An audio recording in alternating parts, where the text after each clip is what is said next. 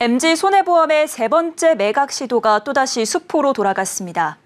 MG손해보험 매각 주관사인 삼정 KPMG가 오늘 오후 3시까지 본 입찰을 실시한 결과 아무도 참여하지 않은 것으로 알려졌습니다. 지난 4월 예비 입찰에 들어왔던 국내 PEF 데일리 파트너스와 미국계 PEF JC 플라워 두 곳은 이달 초 실사까지 마쳤지만 결국 본 입찰엔 나서지 않았습니다.